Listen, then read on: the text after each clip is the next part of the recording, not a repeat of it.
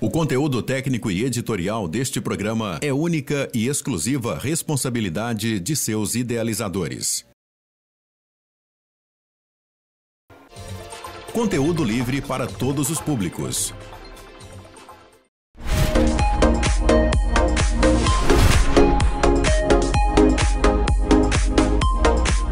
Olá pessoal, tudo bem com vocês? É o programa da Tamires chegando mais uma vez e eu sempre falo para vocês que o programa da Tamires é um programa informativo, sempre trazendo profissionais de várias áreas. Eu gosto disso, eu sou muito curiosa. Eu sempre falo que nós não sabemos tudo e cada um no seu quadrado, né? Mas hoje eu estou com Wellington Gomes. Ele é publicitário, também ligado ao marketing, de Cascavel, a cidade que eu amo tanto. E nós vamos falar um pouquinho a respeito deste assunto, mas depois do comercial eu volto já já com vocês. Abra uma poupança. Poupe, poupe a beça. São milhões em prêmios. Entre nessa festa.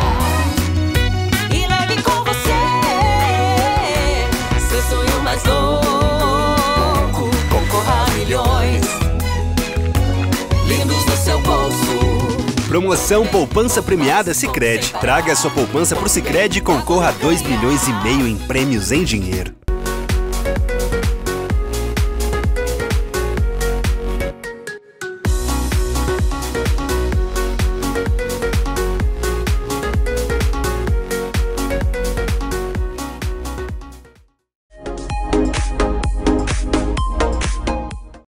Já de volta do nosso comercial, então vamos bater um papo, né, com o Wellington. Quero mandar um beijo e um abraço para a doutora Rúbia Yamazita, ginecologista. Ela comentou do, do Wellington para mim e, e hoje ele está fazendo parte do programa da Tamires. Eu sempre falo que nós vamos abordando todas as cidades, pessoas de todas as cidades da região. E hoje estou com o Wellington, que é de Cascavel. Tudo bem contigo, Wellington? Tudo bem, graças a Deus e contigo, bem? Tudo bem. Este é um capixaba, gente. Um capixaba que está no Paraná sofrendo com o nosso frio. Estou investindo muito em roupas. Esse é o teu maior investimento ultimamente? É, não é. E o bom é que a gente investe em algo que a gente acaba ficando mais elegante, né? Vale a pena. Eu falo que é a estação que a pessoa fica mais elegante é no inverno, Sim. né? Mas também muito frio não é muito bom, né? Eu gosto assim, 21 graus, que não é inverno, inverno de vocês lá, 21, Um 22 graus. frio agradável. É um frio seria. agradável, aconchegante, né? Poxa. É uma época romântica. É, o frio ele estimula, né? não pode, não pode discutir com o amor, porque senão não vai dormir juntinho. Tem que cuidar. Você é ligado então à publicidade, marketing, mais o quê? Então, meu, meu projeto estratégico hoje está totalmente consignado ao marketing, né? Hoje eu vivo do planejamento estratégico de marketing. Ah, diretamente, né, eu trabalho para algumas pessoas que ali eu desenvolvo um plano de marketing estratégico e um projeto que surgiu aí há cinco anos e sete meses, que está dentro do marketing, que envolve um plano estratégico de network. Agora você veio para cá, veio para o Paraná, é, já com esta intenção ou nasceu ou eu te indico? Já ouviram falar, gente? É muito show, né? E quem me indicou foi a doutora Rúbia. Explica um pouquinho como que funcionou. Hoje você tem um grupo, Sim, né? hoje nós temos uma rede, já, uma rede. Graças a Deus, é, a gente nós estamos em 10 cidades. Foz do Iguaçu foi é, o nosso start para poder potencializar. O grupo, o primeiro grupo nasceu em Cascavel. Ele surgiu no início por uma extrema necessidade, né? Eu vindo de outro estado, né? Um conflito de cultura. Todas as áreas que eu pude ter conflito eu tive, né? principalmente frio, alimentação. E parece que não dá, mas dá muita diferença na hora que você quer viver. Você às vezes não se sente bem. Às vezes você tem dificuldade, você quer muita gente vai embora porque às vezes não tem um pouco de conexão com as pessoas. Veio a ideia de criar um grupo. Eu não tinha noção de que esse grupo se tornaria uma rede. E aí acabando que comecei a ler o comércio, o empreendedorismo, comecei a entender dentro do marketing que o empreendedor ele tem a necessidade de conexões. Criamos um nome estratégico. Quem é que não vive de indicação? E surgiu Eu Te Indico. Hoje são 5 anos e 7 meses, 10 cidades, Brasil, Paraguai. Top. Você é, dá assistência para todas estas cidades? Então, é, o grande divisor de águas, por exemplo, vou dar o exemplo da doutora Rúbia. Eu só estou aqui sentado por causa dela. Então, e nós dependemos de alguém para poder crescermos. Exatamente. Então, expandir. As dependemos 10 de alguém. cidades, todas as cidades, nós temos um líder de expansão. Hoje nós temos um líder aqui em Foz, a Lívia Miranda, nós temos um no Espírito Santo, nós temos um em Cascavel, nas cinco cidades do Paraguai, toda cidade tem uma pessoa que me representa. Então ela é o Wellington lá, ela faz o que eu faço em Cascavel. E eu tenho o prazer, aí vem o meu privilégio, né? Todo mês tem um jantar empresarial em cada cidade, aí eu faço questão de ir. Eu quero estar lá jantando com eles, né? Que tem que estar na mesa, né? O capixaba gosta de sentar na mesa, principalmente com a muqueca. Essa é boa. Agora você, você tem o teu grupo. Sim. De quantas pessoas? Hoje nosso grupo, no total, nós chegamos a 440 membros. Então, cada cidade nós temos um grupo exclusivo de empreendedores. No total, porque todos fazem parte do mesmo grupo. É claro que cada cidade trabalha dentro do seu, dos seus nichos, né? Hoje, em Foz do Iguaçu, nosso grupo tem 60 membros aqui em Foz, sem concorrente. É um grupo exclusivo. Tá, Então quer dizer que você não tem a empresa física. Não. Ou tem? O network, ele, ele é um projeto estratégico que ele não precisa de ser feito em loco, Sim. partindo da minha empresa. Tá. Um grande diferencial do nosso grupo, por exemplo, é nós vamos fazer um café de negócios, por exemplo, esse mês. Aonde? Lá no escritório da doutora Rúbia. Sim. Então lá se torna o Eu Te Indico. Então nós vamos para lá. Vai ter um jantar agora, dia 29, numa pizzaria aqui da cidade. É lá que vai ser o nosso QG. Então é um grupo de network. O network, por ser intangível, ele é uma ação, sabe, entendeu? Ele não precisa em si de eu ter um local meu. Pelo contrário, o bom é que eu vá até você. Entende? Bem interessante isso. Agora, você falou que todo mês faz um jantar. Sim. Faz um jantar. E neste jantar, é só as pessoas que já estão envolvidas com você ou tem pessoas novas que também foram indicadas? Os dois, o, o plano matriz do nosso grupo ele começa no digital, né? Ele precisa ter um, um- Instagram forte, uma divulgação interessante. Então todo mundo que faz parte do grupo a gente divulga nas redes sociais. Nós temos o nosso grupo de WhatsApp VIP, que é só nosso, para a gente gerar comunhão entre nós. Agora no nosso jantar, número um, vai primeiro os de casa. Agora todo jantar a gente convida alguém que tem um segmento que a gente não tem ainda. Entende? Por exemplo, o próximo jantar faço questão da senhora, que a senhora esteja conosco, porque o seu segmento é importante para a gente. Você é uma ponte para os empreendedores. Então, se você está no jantar, as pessoas te conhecem, aumenta a possibilidade das pessoas contratarem o seu serviço. Que na verdade é um jantar de negócios. Totalmente. Por mais que a gente, em todos os jantares. Eu divulgo o meu trabalho, você divulga Sim. o seu, o José divulga o dele, o que ele Sim. faz. Existem muitas dinâmicas no jantar, por exemplo. Esse jantar a gente vai ter desfile de moda, exposição de produto. Todo jantar que a gente faz, o menu tem que ter vinho, né? O vinho ele ajuda. O Você pro- gosta de vinho? Aprendi a, a degustar aqui no sul, né? Lá no Espírito Santo, Você mora, morava num lugar quente, né? é, Também, o né? vinho não é muito cultural lá. O vinho esquenta. Entendeu? Agora aqui tudo a gente faz com vinho. Fizemos um, um encontro empresarial esses dias com vinho com brownie. Então tudo, o vinho consegue, dependendo do vinho, né, harmonizar com qualquer prato. Né? Aham. Graças a Deus. É bom. E quando ó, esse jantar, por exemplo, que você vai fazer aqui agora este mês, né? É esse mês que você vai fazer? 29 de julho. É, Agora, final esse do mês. mês. É, o vinho, você que procura é, a empresa para fornecer o vinho para o jantar, ou tem uma pessoa específica para organizar tudo? Então, o nosso grupo ele é, ele é bem estratégico. Todo segmento que você imaginar, nós precisamos ter no grupo. Então, no grupo eu tenho um vendedor de vinhos. É o vinho dele que a gente vai comprar. Da Argentina. O, não, o- a gente vai selecionar. Por exemplo, o vinho que vai ser E servido. você tem cliente na Argentina? É, o vinho que vai ser servido, ele independente do, de onde ele seja. A adega que vai nos propor um vinho que harmonize com massas. A pizza que nós vamos comer é da pizzaria do grupo. Entende? Então a gente tem que gerar economia para o nosso grupo. Isso é uma visão de comunidade. Bacana isso, Com- gente. comprar na cidade é você dar valor para o empreendedor que precisa crescer. Então a gente só contrata dentro do grupo. Então no grupo, graças a Deus, nós temos nessa área primária, que é a da comida, nós temos a pizzaria que a gente sempre vai jantar, o vinho que a gente sempre compra, aí tem loja de roupa, tem tudo, energia solar. nós temos 60 segmentos hoje, né? E ainda falta muito, entendeu? Qualquer segmento é importante. O cidadão corta grama, não tem problema. Ele é útil para o nosso grupo, porque quem tem grama no grupo vai cortar grama com ele. Entende? É uma comunidade, é um processo de comunidade. Para mim, a, a vida é uma comunidade, né? Muito bacana. Não, você, você é bem diferenciado, vamos falar assim. O teu trabalho é um trabalho diferenciado. É, você falou também que você tem um podcast. Um podcast, mas que é um podcast diferenciado. Não tem estúdio. Sim. Não tem estúdio. Como é que você trabalha? Então, o nome do nosso grupo já começou sendo sugestivo. Eu te indico. Quando eu fui querer criar um podcast, eu fui fazer a minha pesquisa de campo e eu percebi que, por mais que tenha virado uma febre, existe muita similaridade. E eu não quero ser melhor que ninguém, mas todo plano estratégico, às vezes você quer botar um tempero que seja só seu. Então nós decidimos primeiro criar um podcast que fosse móvel. Eu fazer um podcast com cinco empresários lá na tua empresa, número um. E o nome foi sugestivo também, porque o nome do grupo é Eu Te Indico e o podcast chama-se Pode Te Indicar?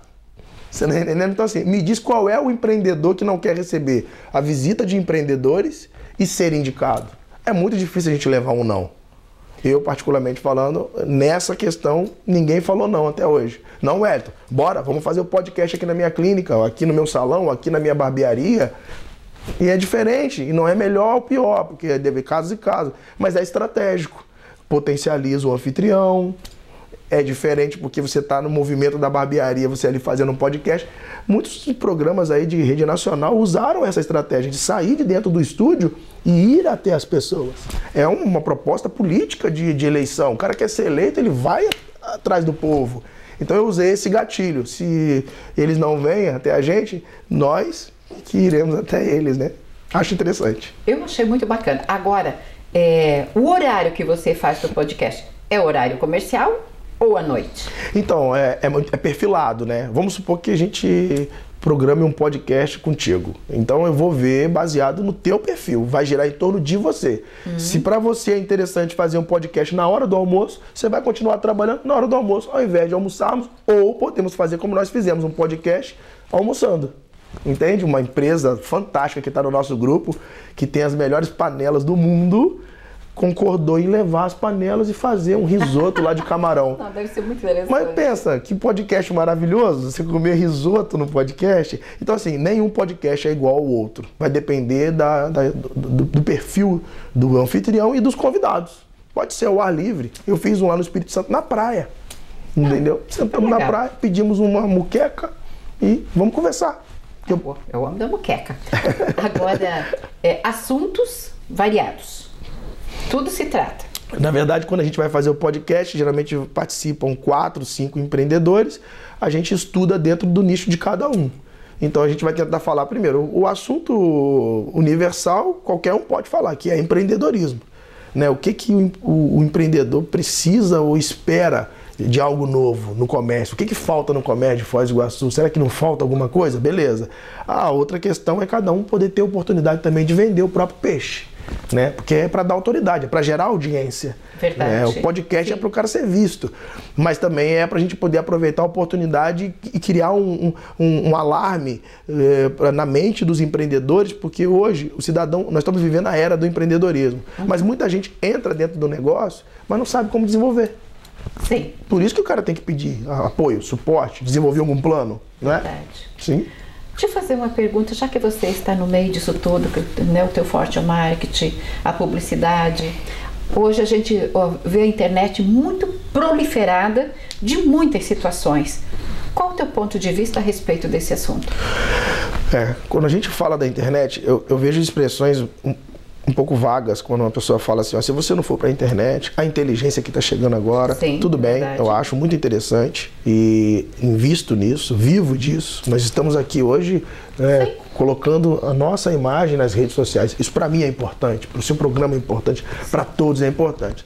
Só que quando a pessoa ela vai para um processo secundário, e eu costumo dizer que a internet para mim ela é secundária, ela vai vir depois de, um- de uma autoridade. Se você não tem uma congruência, se você não tem uma empresa sólida, um produto pro- bom. um projeto estratégico, uma equipe que, que tem prazer em trabalhar para você, você vai para a internet, beleza, ninguém sabe, mas por que, que muita empresa fale? Por que, que o cara que tinha uma empresa que você passava, ela era linda, Será que não foi gestão? Ontem eu escutei um grande sábio dizer que a gestão é um defeito ou uma qualidade que ninguém sabe. Você está entendendo? Elas só ficam sabendo depois. Mas na, de início é uma coisa oculta, né? Então, apoio a internet, nós temos que ter autoridade. Ontem eu fechei um cliente que caprichava e ele me disse: Ué, eu não estou conseguindo vender. O que, que eu tenho que fazer? É internet? Eu falei: Não, é você.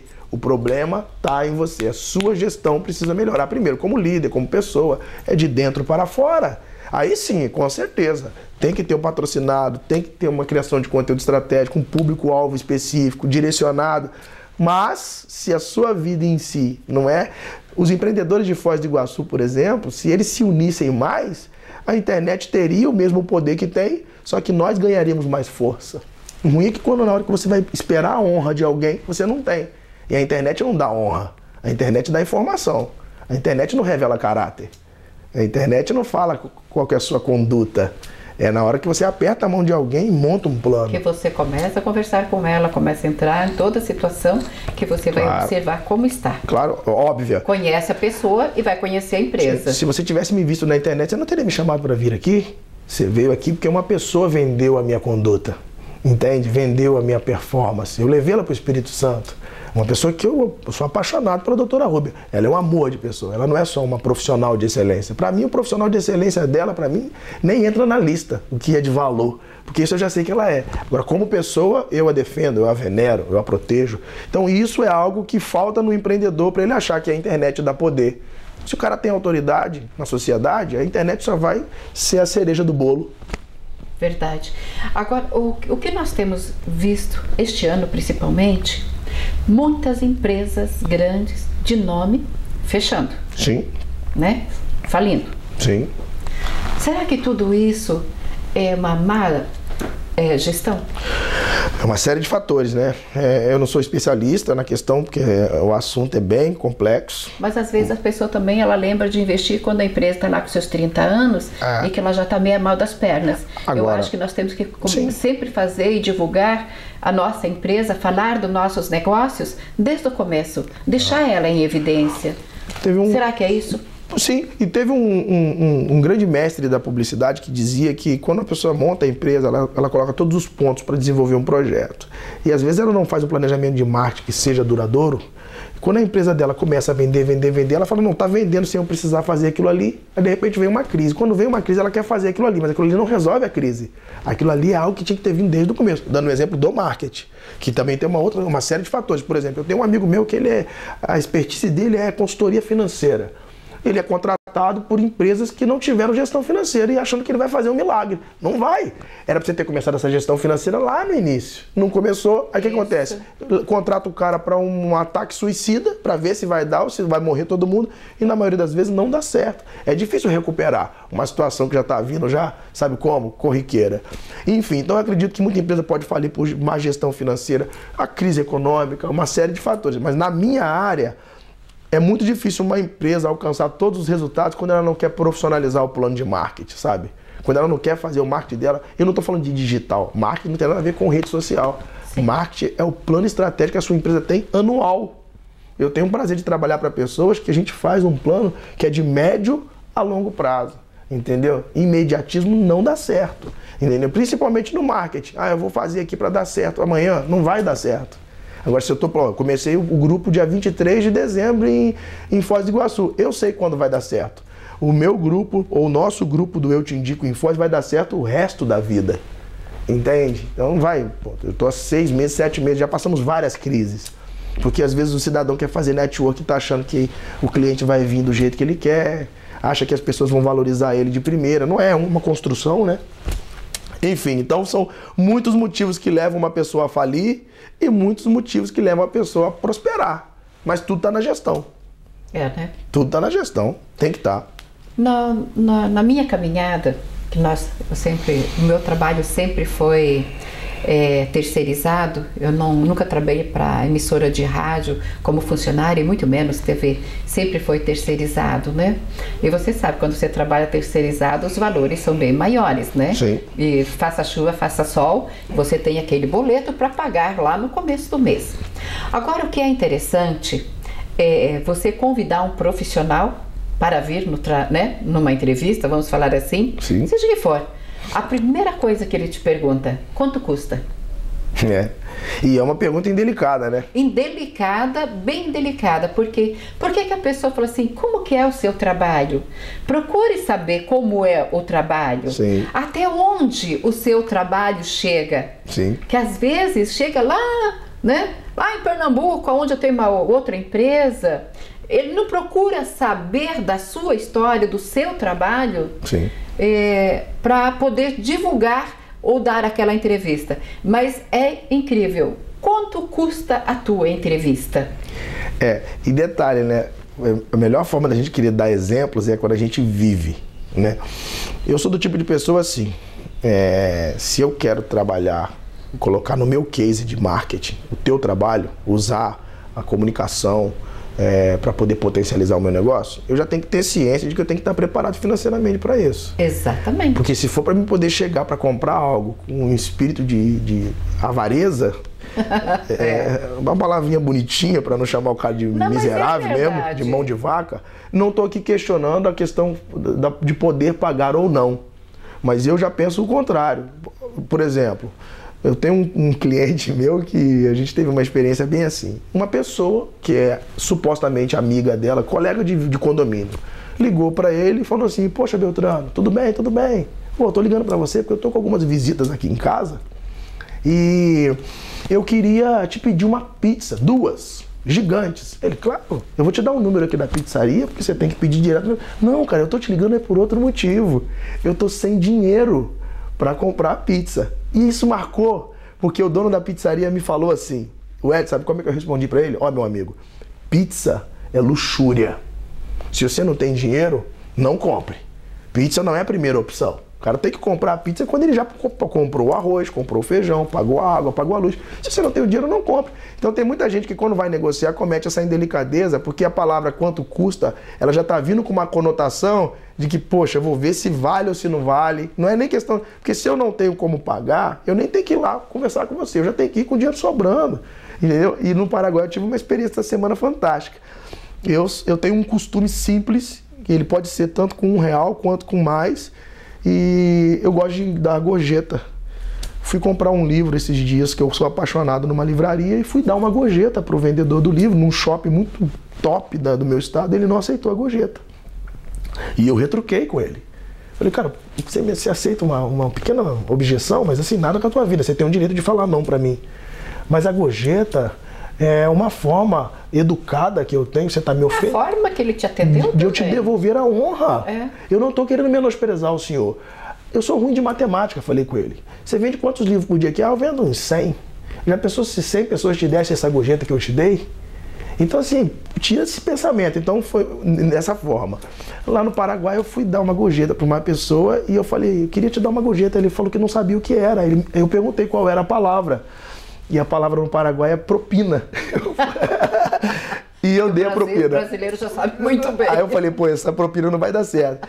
Então, eu sou do tipo de pessoa assim, eu acho que a gente, pra gente conversar legal, pra gente honrar as pessoas que quando vão fazer essa proposta de destacar ou não, é quando o cara já vai comprar, eu sempre falo isso no grupo, você quer comprar no grupo, paga o preço e ainda dá gorjeta. Isso falta no empreendedorismo, sabia? Um empreendedor que quer vender caro e quer comprar barato, é muito difícil de lidar com esse tipo de, de empresário. Ele sempre quer vender o produto dele caro, mas ele nunca quer pagar teu preço. Pois é. Ou colocar valor no seu produto, que tem muito também. Sim. Né? Tudo isso a gente encontra pela frente.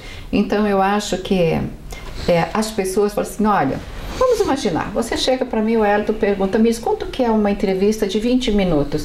Eu vou passar para você o valor. Daí eu falo assim, olha, eu tô financeiramente tô meio apertado. Dá para mim pagar em duas vezes? Três? Tudo bem, até é tolerável. Não é tranquilo? Sim. né? Mas tudo bem, sem problemas. Mas aí fica a dica, viu, gente? Você tem a sua empresa, você tem que divulgar. Por que não bater um papo como nós batemos aqui agora, para você saber como que é, como que o Wellington trabalha? Ele passou para vocês que trabalho lindo, né?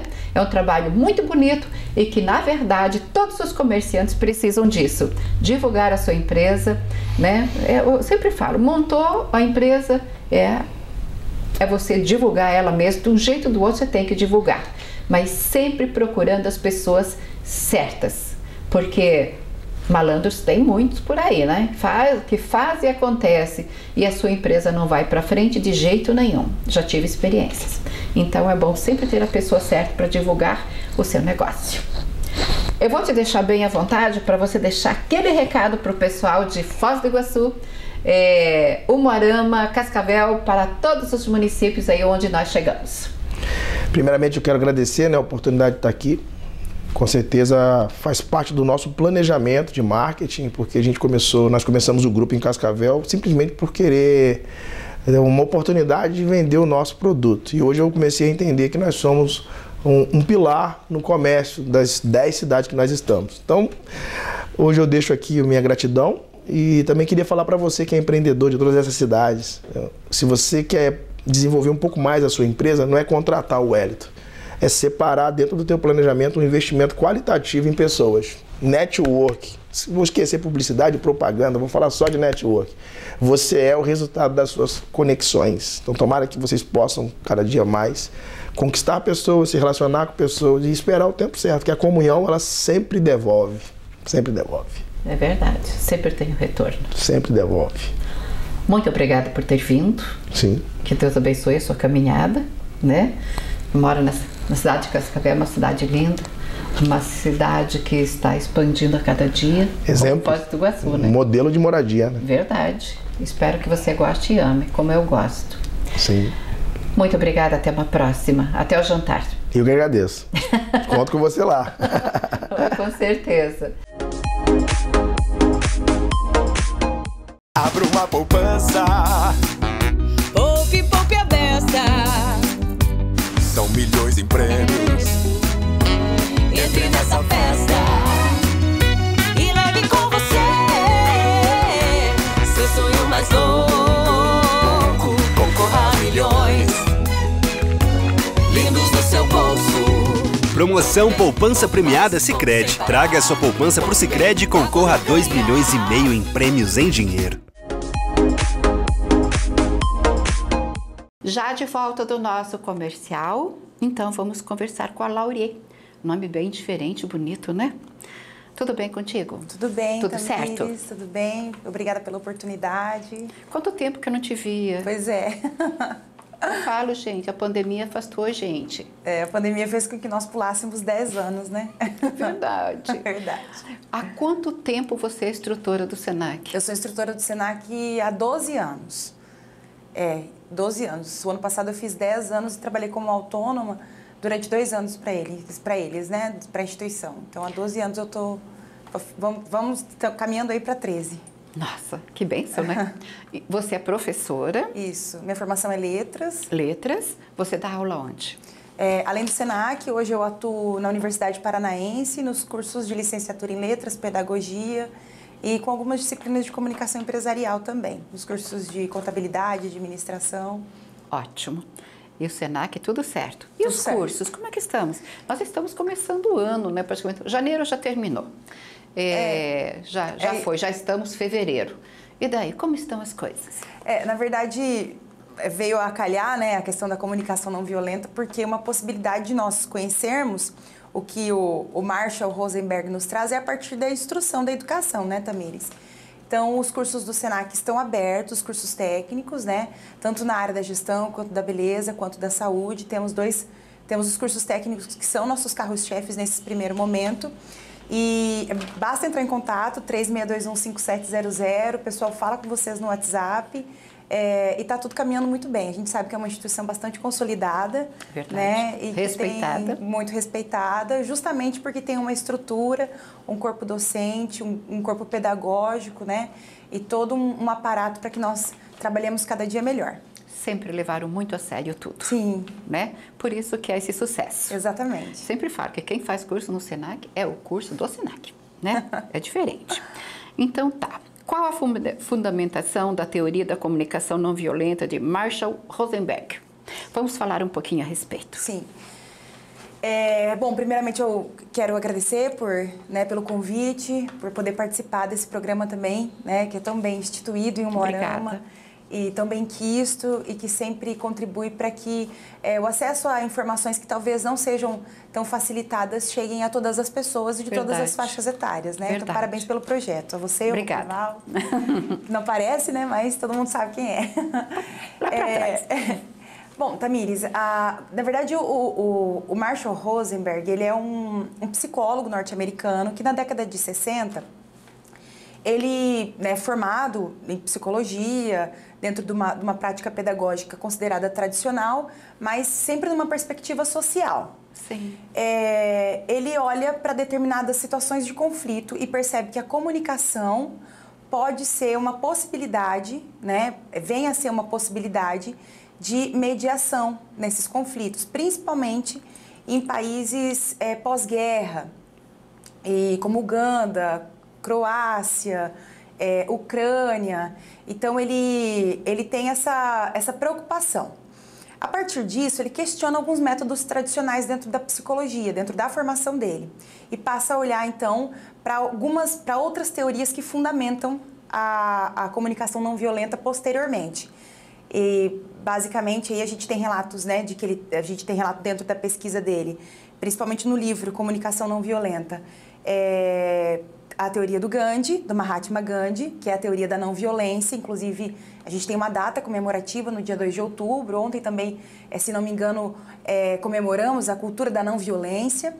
Eh, a teoria do Carl Rogers, que é um, um psicólogo, um psicanalista humanista, né? Então ele vai tratar também dessa questão eh, da, da empatia, das necessidades. Então ele é uma outra vertente, né? Uma outra abordagem dentro da psicologia e a teoria do Paulo Freire, que é a partir da pedagogia da, co- da cooperação. Então ele fundamenta, né, a gente percebe que ele tem esses três pilares que são que ficam evidenciados, que é justamente a partir da comunicação uma possibilidade de compaixão, de compassividade para a cooperação. É, e isso a gente percebe que vem bastante da teoria da não violência do Mahatma Gandhi, é o fato de que ele compreende que todos nós, seres humanos, somos é, é, instituídos, né, somos é, consolidados, somos formados, estruturados a partir de uma compassividade. Então, nós somos compassivos. A compaixão é presente na nossa existência.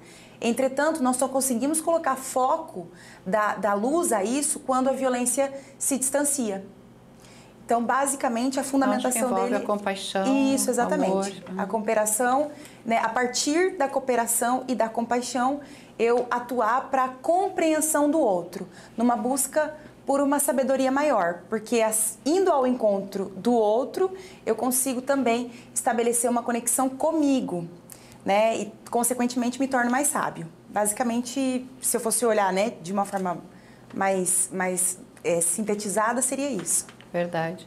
Ah, falando assim, a gente já se coloca no momento que estamos, né? Isso. Vivendo. Como as pessoas estão estressadas, elas estão raivosas Uhum. e aonde que vai afastando as pessoas e muitas coisas ruins vão acontecendo, né? Isso.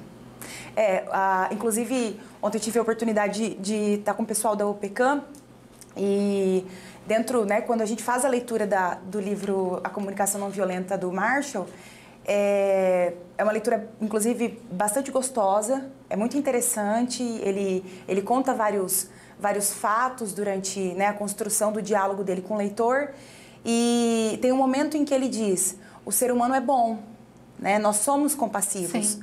Nós, nós reconhecemos a compaixão como sendo inata, como sendo inerente a nós mesmos. E quando eu disse isso, né, você percebe ali as pessoas fazendo será, né, que as pessoas são tão boas assim nesse momento. Sim, nós somos. A questão é que nós temos de nos afastar da É os violência. fatos que acontecem. Exatamente. O contexto me leva a, a ter uma determinada reação a certas situações. E daí existem outras teorias e outras explicações que nos levam a compreender os comportamentos hoje né, instaurados, principalmente depois da pandemia. É, mas a gente compreende que a teoria nos ajuda a entender que dá sim, dá para ser melhor, dá para ser mais compassivo, mais compreensivo com o outro a partir desse olhar, né? Que é uma que também exige uma, uma abordagem mais filosófica, que é justamente numa busca por sentido. É preciso significar a teoria do Marshall para compreender onde é que ela faria sentido. Então, é também um exercício de sair da minha realidade, do meu contexto e de olhar para outros pontos de vista, né? O que não é um exercício fácil, Não. é fato, né? E é fato. Porque, principalmente no hospital, né, onde você foi, né, com a Isso. sua palestra, é um, é, é um local onde as pessoas chegam, às vezes com problema sério de saúde, sem paciência, né, querem as coisas resolvidas para ontem e as coisas não são assim. E se a, a pessoa se deparar com uma pessoa que também não tem paciência com ela, de ouvir ela, né, então vira uma confusão mesmo, É. né? É, a- ali, né, as- assim, é, penso eu que o, o hospital é um lugar de muita fragilidade, de Sim, extrema é muito vulnerabilidade, frágil. né? É frágil. As pessoas chegam sem o que a gente, sem o que nos resta, que é a esperança. Sem esperança, sem Né? chão. É. É, é, recebe uma notícia, ó, você está com câncer, é, né? E tem que passar por um tratamento. Daí Sim. ela fica pensando, nossa, um ano, um ano e pouco, com químio, rádio. É, é, ela fica sem chão. Em contrapartida, é, é, é- é difícil, né? Até o Rosen, não sei se eu estou me adiantando aqui, mas Pode falar. Né?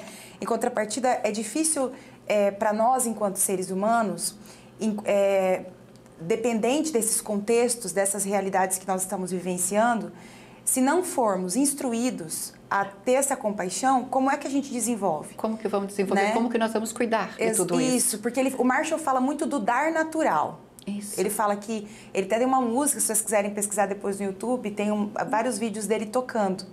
E ele diz o que, que é o dar natural? É ser, é satisfazer-se em satisfazer o outro.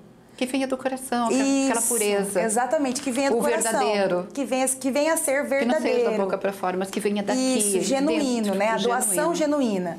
Eu costumo até dizer, quando a gente aborda isso nas aulas, é, fazendo uma, uma comparação muito simples, mas é quando a gente. a sensação que a gente tem de dar um presente para alguém e ficar mais feliz em dar o presente do que a pessoa rece receber o presente, né? Você fica mais feliz em dar do Mas que é receber. verdade.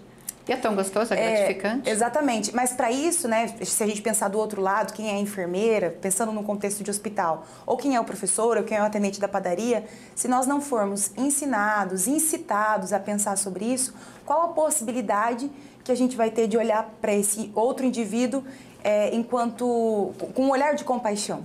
Né? E não um olhar de rivalidade. Ou, e e, e para chegar nisso, a gente precisa compreender o que, que é escuta empática, o que, que é empatia realmente.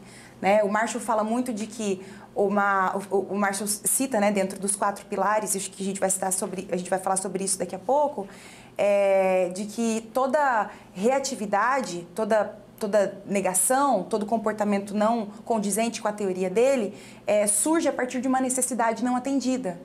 Então, quando eu olho para o outro né, e compreendo, ele está raivoso, ele está sendo hostil, ele está sendo irônico, que necessidade há por trás desse tipo de comunicação que é considerada violenta, que não foi atendida. Só que para isso a gente precisa de um exercício. Né? É, um, é um estar em, em exercício, é um estar caminhando todos os dias.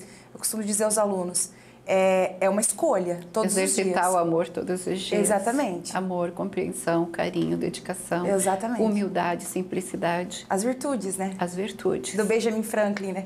Isso é muito importante. É, Vamos lá. Nós já, já demos uma pincelada em umas coisas que eu já Aham. notei, né? E, então vamos lá. Qual é a diferença entre empatia e simpatia? É, nós trouxemos essa discussão quando conversamos, porque é um dos pilares, né? Da, da- é uma das, das, das observações em relação às necessidades. Que ele vai dizer, ele vai, vai, vai né, definir ali, né? Que a necessidade não satisfeita de um indivíduo pode gerar um comportamento violento, uma fala violenta, um gesto violento. E eu só queria destacar, Tamires, que quando a gente pensa em violência, talvez venha à nossa cabeça, à nossa mente, imagens grotescas, Sim. né? No sentido de sair sangue, de Sim. espancamento. E essa violência que o Marshall... Essas, essas violências, obviamente, existem, a gente vê nos Existe, mas não, não está no nosso contexto. Isso, porque é uma violência. Nós poderíamos aqui defini-la como subjetiva, tácita, silenciosa, Uhum. né? Ela não é aparente. São é, pinceladas. Então, um gesto, a, hostilidade, por exemplo, a ironia, a comparação, né? Então ele vai falar que uma das, um dos remédios, digamos assim, para que isso não se propagasse seria a empatia. Mas o conceito de empatia, é na sua raiz etimológica, talvez tenha sido, talvez tenha se perdido um pouco. Porque não é a mesma coisa que simpatia, né? Então eu trouxe aqui que é um, a simpatia é um sentimento de companheirismo. Está relacionado ao cuidado, à preocupação com alguém. E às vezes eu fico triste quando acontece alguma coisa com você, ou posso ficar muito feliz quando eu te encontro, por exemplo. Sim. Já a empatia é além desse reconhecimento do seu sofrimento. É tentar justamente colocar os seus óculos a partir daquela situação é, compreender. É, está olhando por você. Isso, compreender o seu sentimento, mas não a partir do meu contexto, a partir do seu contexto. O que, particularmente, é uma coisa que eu acho ser muito difícil. Muito difícil. Porque, assim como eu disse anteriormente, eu não passei pelas mesmas situações que você.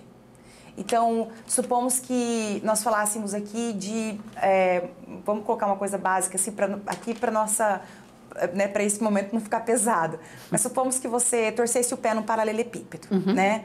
Mas eh, você fosse uma pessoa esportista, Sim. e se exercitasse e tivesse, de certa forma, todos os seus ligamentos já é, mais estruturados, você sofreria, talvez, né, uma dor ali, mas colocando uma bolsa de gelo, as coisas ficassem melhores é, no meu caso, eu tivesse a mesma fratura, né, a mesma situação, no mesmo lugar, talvez, físico e né, do, do, tornozelo ali, mas eu não tivesse uma preparação tão grande quanto a sua. E o meu nível de dor não fosse tão tolerante quanto o seu. A minha reação é diferente, né? Então, e para chegar nisso, então é, é, sair, sabe? Aquela coisa de, ah, não doeu tanto assim, eu já, tor já, já torci meu pé várias vezes e... Não é você que está sentindo não é tanta... a dor? Exatamente, a dor não é sua, né? A dor não é sua. A dor não é sua. E, e tem muito disso, né? É, é, o sentido do outro é do outro. Independente se é uma torção no pé ou se é a dor de uma, de uma perda, né? De, uma, de um ente querido, e, se é a dor de uma doença. E acontece muito, né, Sim. Né? A comparação. Nossa, virou pé, mas nem doeu tanto é. assim. E daí ele entra no outro aspecto dele, né, que, ele, que, que a teoria vai trazer, que é a questão da comparação. Quando ele diz que se nós eliminássemos a comparação das nossas relações, nós teríamos é, conversas e, e, e relações mais saudáveis, né, comunicação mais saudável, é, é um fato, ao meu ver. Justamente porque não dá para comparar, né? Quebrar unha para alguém pode ser um, um episódio de tragédia e para outras pessoas pode ser apenas uma unha quebrada. Mas esse apenas, né, ele, ele separa muita coisa. Não, depois ele é a sensibilidade também, né? Isso. Você pode ser muito sensível e eu menos sensível. Uhum. Mas aconteceu o fato. Sim. Né? Mas Exatamente. Aconteceu o fato. Eu vou para o comercial e eu volto já já com a Laure Fernanda Silva. Ela é instrutora do SENAC, ela é professora e nós estamos num tema bem gostoso aqui. Eu volto já. Já de volta do nosso comercial, então você que está chegando agora, né, é, chegando do trabalho, nós estamos batendo um papo com a Laurie Fernanda Silva. Ela é instrutora do SENAC, ela é professora e hoje nós estamos discutindo aqui, batendo um papo sobre o assunto o que é a teoria de comunicação não violenta. Então vamos continuar com o nosso bate-papo. Como a empatia contribui para que a comunicação não violenta seja exercida entre as pessoas? É, eu acho que, né, eu acho não, penso eu, né, a partir da, da leitura dos, dos, pressupostos da teoria do, Rosen, do Marshall Rosenberg, que aumenta, potencializa o fato de ser compreendido, né, de poder compreender e de ser compreendido. Então, vamos, é, isso a teoria nos traz se a gente for trazer isso para o nosso dia a dia, para o nosso cotidiano, né? Uhum. para o pragmatismo da comunicação.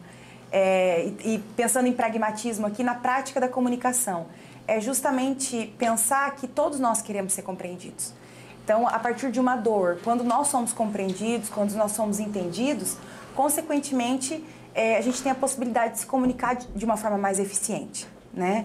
Quando o outro compreende a nossa dor, quando compreende a nossa necessidade, automaticamente a gente acaba baixando a guarda, né? E, Às vezes até se emocionando. É, é muito edificante, é reconfortante é, ter alguém que entenda os nossos sentimentos, sem o que ele traz de ju- juízo de valor, sem julgamento.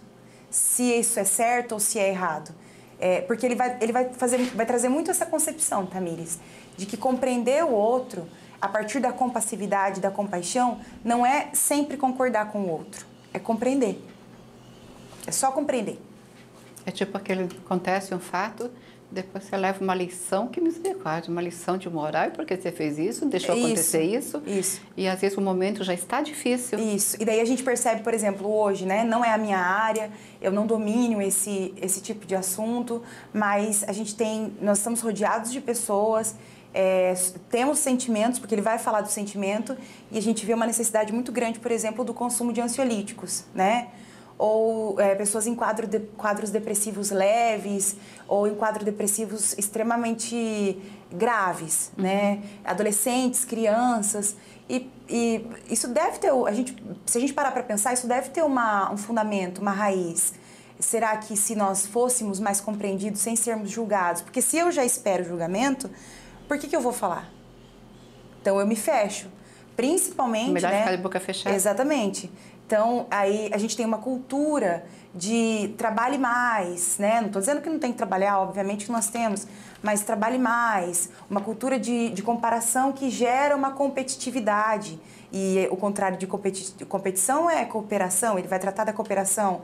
E daí, se eu me coloco sempre num espírito de competitividade, competitividade, né, sempre de comparação e competitividade com o outro. E ao meu ver, as redes sociais e a internet, apesar de ser um, um- um mundo infinito de, de benevolências, de coisas boas que chegam até nós, tam- mas também contribuiu para que nós ficássemos mais competitivos em relação a corpos, em relação a, a status né, financeiro, social, econômico, enfim. É, eu acabo me, me- me fragilizando e me fechando. Quando eu me fecho, eu não dou a oportunidade de compreender que existem outras pessoas no mesmo lugar que eu. E daí eu acabo achando que eu sou o patinho feio da história, né? Só eu tenho esse tipo de É a problema. única. Sou a única. E daí a mente acaba virando um inimigo, porque eu também né, já estou ali, não consigo pedir ajuda. Então, é, eu, eu percebo, assim, né, a comunicação não violenta, ela me trouxe, uma, obviamente, que eu sou um ser humano e condição para ser humano é errar, né? Então eu erro muito, erro como filha, erro como esposa, erro como profissional. É normal para o ser humano. Né? É a condição para ser humano, né? Então aceitar as nossas fragilidades, penso que Sim. é o primeiro caminho. Verdade. Mas é, é, olhar para isso, né, olhar para a comunicação não violenta, me trouxe essa tolerância maior, primeiramente comigo. E o Marshall vai trazer isso também, né, de que quando nós somos tolerantes conosco, nós consequentemente somos mais tolerantes com o outro. Então, é uma relação, é uma complexibilidade, é uma, uma, é muito complexa essa teoria dele, é, porque ela, ela reúne, ela tem várias convergências. Então, é um ato de pensar, né? Vou voltar, é um, é um exercício, é uma escolha diária, mas que realmente tem fundamento e funciona. Você olha para o outro com mais compaixão. É o, o que o, o próprio Benjamin Franklin, a gente citou agora há pouco, falava da indulgência, né? A gente olha para o outro e vê que ele cometeu um, um erro muito grande. Você fala, meu Deus, que erro grande, né? Que julgamento grande. Mas e se eu tivesse no lugar dele? Não quero estar nem na pele É. da pessoa. né? Eu não quero estar, mas se eu tivesse, como que eu reagiria? Exatamente. Se fosse eu, É. de que forma eu estaria Porque eu, reagindo? eu, por exemplo, percebo, né, a partir do que o Marshall vai trazer dos juízos de valores, né? A gente vai falar sobre isso. É, tem o juízo de valor. Va- é, eu não trouxe, nós não trouxemos aqui, mas é um dos aspectos que ele vai tratar. Da comparação, o juízo de valor. É, eu olho de fora, eu olhar para o outro e apontar, é um exercício não tão difícil. É mais fácil. É, mas quando eu me coloco, né, penso, ah, mas e se tivesse acontecido isso comigo? Comigo. Eu, às vezes, fico envergonhada das reações que eu teria, porque com certeza seriam muito piores do que a pessoa que estava fazendo aquilo. E geralmente, às vezes, a- a gente faz isso mesmo, né? Sim. Se você se coloca, né? Você olha, você faz um julgamento em silêncio, mas daí você pensa, mas se fosse comigo? É. Nas Você- condições que eu tenho. Você muda o teu pensamento. É, exatamente. Nas condições que eu tenho. Você Como muda. professora, a sala de aula me possibilitou muito essa constatação, principalmente com os adolescentes. porque é, como em vários momentos da minha vida eu trabalhei com adolescentes em situação de vulnerabilidade, nós tínhamos situações extra classe que tinham de ser resolvidas. Só que quando você está preocupada em estabelecer um conteúdo, né, é, ensinar alguma coisa, mediar um conteúdo, essas situações extraclasses acabam sendo situações que atrapalham. E na verdade não, né? elas estão intimamente ligadas com o ensino, aprendizagem. É, e quando você saía da sala de aula e ia compreender a história de vida daquele aluno, né, e pensava, é, eu na situação dele, com as condições que eu tenho, eu seria muito pior do que ele. Então, automaticamente a compaixão ali ela, ela se, se estabelece. Não, mas é verdade é. também.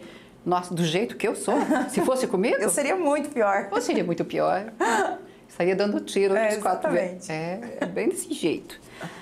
Interessante isso, né? Esse bate-papo da gente hoje. E que tem tudo a ver, né? É, com o momento, né? Muito obrigada mesmo por ter, ter trazido esse Imagina, tema pra gente. Agradeço. Quais são os aspectos fundamentais da CNV para Marshall Rosenberg? É, daí ele vai trazer. É óbvio que a gente não tem tempo, né? Para isso nós precisaríamos de. Existem cursos de comunicação não violenta, isso não é difícil de encontrar na internet. Então nós precisaríamos de um tempo, de dias, horas para exercer todos esses, esses, esses aspectos no exercício, na prática da CNV. Mas ele vai trazer é justamente a questão da observação dos fatos sem julgamento ou avaliação, o primeiro ponto. Por exemplo, é, a Tamires sempre. A Tamires chegou atrasada hoje. Uhum. Isso é uma observação. Distinguir. Observação de opinião. Né, uhum. Né, de, de, julgamento. Observação de julgamento. Nesse primeiro momento, observação de julgamento. Uhum. Ao invés de chegou atrasada de novo, será que não escuta o despertador? Né? E compreender. A Tamires chegou atrasada hoje. Isso é observação de um fato. Né? Sim. Num segundo momento, ele diz identificação do meu sentimento em relação ao fato que eu observei. Então, supomos que eu trabalho com você, eu dependo do seu horário e eu, eu fico é, com raiva, né? meu sentimento é de raiva quando você chega atrasada. Então, eu tenho, identificar o sentimento que eu tenho. Eu tenho um sentimento de raiva quando ela chega atrasada. Porque, se conectando com o meu sentimento, eu tenho a possibilidade de conversar de uma forma mais assertiva com você posteriormente. Senão, o meu sentimento mistura no, na minha, no meu julgamento e daí, quando a gente vê, a gente já está discutindo e atacando o outro, né? Então, por isso é importante identificar o sentimento. Um terceiro momento, reconhecer as minhas necessidades que estão relacionadas aos meus sentimentos. Então, eu não, não gosto quando a, a, a Tamires chega atrasada, porque eu não consigo tomar o meu café na hora certa. Supomos, é uma necessidade. Tomar um café, fome né? Aí eu consigo ter, a partir dessa identificação, a elaboração de um pedido que ele chama de claro. E não de um apontamento, e não de um julgamento, né? Então, Tamires, eu compreendo que você tenha é, algum motivo para chegar atrasada pela segunda vez essa semana, é, mas eu peço a você que, por favor, procure ser pontual, senão os horários do café vão se estreitar e eu tenho um problema de gastrite, eu não posso ficar muito tempo sem me alimentar. Pode ser assim da próxima vez, assim como todos os outros colaboradores? É mais compreensível. Ok. Né? A, a, própria, é aquela bronca que Agrada a gente... mais, né? aquela, aquela, aquela, aquele pedido que a gente faz sem muito constrangimento, aquela bronca que a gente toma, que a gente fica envergonhado de tomar e não tem outra possibilidade a não ser mudar a atitude. é isso. É, é complicado, né? Mas vai fazer o quê? Bom, eu, eu vou te deixar bem à vontade para você, se você quiser falar, falar algo mais a respeito do nosso bate-papo hoje. Fique ah, bem à vontade. Tá? É, eu acho que eu trouxe aqui uma, uma observação, né? É, sobre, sobre justamente a, os discursos de ódio, né? Como isso pode contribuir, como a CNV, a comunicação não violenta, pode contribuir para que nós estejamos mais tolerantes. E eu destaquei aqui o verbo estar. Uhum porque é muito importante que, apesar de reconhecer a teoria, ler sobre a teoria, né, existem vários artigos científicos, quem não quiser fazer a leitura do livro, que eu particularmente recomendo, porque ler, ler o autor na sua fonte é muito mais satisfatório, muito mais esclarecedor. Foi ele que criou a teoria, né? Então fica muito, muito melhor, muito mais claro. Mas dá para pesquisar artigos ou vídeos no YouTube, tem bastante material. É, compreender, compreender a teoria e partir do, do, do princípio de nos compreendermos. Né? Penso que nesse momento nós precisamos exercitar a tolerância conosco, olhar para nós, né? a partir realmente de uma abertura talvez até filosófica. Por quê? É, não dá para ser tolerante o tempo todo, não dá para praticar a CNV o tempo todo, uhum. né? Porque dependendo do contexto, da situação que eu sou submetido, eu vou errar, né? Ou eu vou demonstrar fragilidades. Então, mas, mas penso que se nós é, exercitarmos a tolerância, pensar que eu posso estar tolerante hoje, assim como eu posso estar tolerante na minha casa daqui a pouco, posso estar tolerante no meu trabalho, né, amanhã cedo, é, isso gera uma construção, quase, se a gente for metaforizar, uma, uma escada evolutiva mesmo, né, no progresso para a humanidade, não é só um progresso para nós. Porque quando um evolui, todo mundo evolui. Com certeza. Né? Não numa perspectiva é romantizada, contagioso. é contagioso. Não romantizado, né, de forma nenhuma, porque a gente sabe que existir não é fácil, né? Às vezes nós estamos sobrevivendo, como diz, dizem os adolescentes, é, mas se pensarmos que a, a, raiva, a fúria, esses sentimentos que são considerados violentos pelo Marshall não nos levam a uma resolução, nós conseguiríamos talvez uma, uma vida mais saudável, né? Menos, menos, menos ataques, enfim. A vida com mais amor. Isso, exatamente, com mais virtude. Exatamente, mais virtude, mais amor, mais cumplicidade, tudo, né? Exatamente. Eu vou te deixar bem à vontade para você deixar o um recadinho final aí né, para os alunos, que a prof está aqui hoje, a Laurier, né, escritora. Então, fique bem à vontade. É, na verdade, eu quero agradecer né, o, o, o convite. Quero dizer que, é, apesar de eu vir falar da teoria, eu também sou uma, uma exercitante, digamos assim. É um exercício que eu tento é, fazer todos os dias e nem sempre, nem sempre nós conseguimos todos os dias, né? às vezes só consegue meio dia. É, convido vocês a conhecer a teoria da comunicação não violenta, olhar para si, é, assim como para o, assim como né, colocar, tentar colocar esse, esses, esses óculos do, dos outros, né, essa ótica, esse ponto de vista do outro, é, num sentimento de cooperação e contribuição. Porque por vários momentos esse exercício, essa reflexão, é, me foi provada pela vida mesmo, pela existência de que quando nós exercemos esse tipo de, de ação, nós temos esse tipo de, nós temos pelo menos uma pretensão de comportamento dessa forma, a vida nos retorna. Então, é, quase assim, né, para uma pessoa que nós encontramos que nos embate, a gente encontra, quando a gente está nessa, nessa busca, a gente encontra dez que são compreensivas conosco e quase numa, numa talvez numa compreensão de energia ou de sinergia. A gente acaba atraindo o que a gente doa, né? Então, penso que a teoria vale a pena. A partir da instrução, agora existem vários mecanismos, né? Pode ser através da leitura, através de um curso, através de uma fala, de uma conversa. É fato que se nós observarmos, esse tipo de aprendizado está em todos os lugares. Verdade esse conviver com pessoas assim também, nossa, é uma benção. É, fica mais fácil. É muito mais alegre, é divertido mesmo, né?